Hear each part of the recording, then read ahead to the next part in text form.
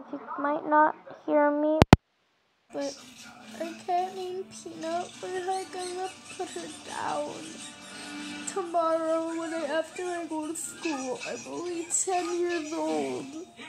We have to put our beautiful 17 year old cat down. She's not doing too good. I'm gonna go and show you. I love her so much.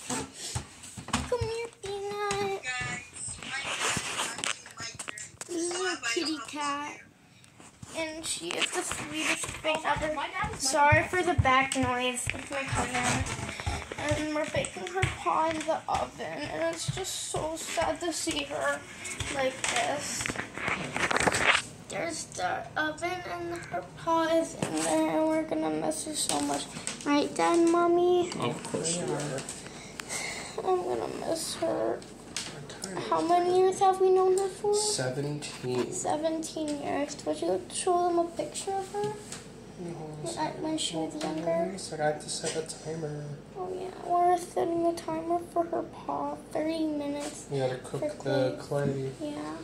But then we're going to set it in a cast and then we're going to um, have it forever. We're going to miss her so much. Sorry if I'm not crying. I'm just not feeling too much emotion right now. Fine, sweetie. Are On my phone, this is the earliest peanut picture. Well, sorry if you can't see it that well. And we're gonna miss her so terribly. Bye-bye. Oh,